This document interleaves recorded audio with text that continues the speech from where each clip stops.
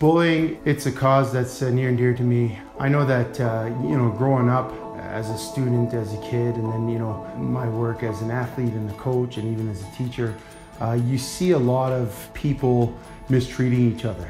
And it becomes this habit, which unfortunately becomes bullying in a lot of cases. And, uh, you know, it's not right. It's not right for any child to go to school feeling like they're wrong for being who they are. And it's not right for people to think that they have the right to do that.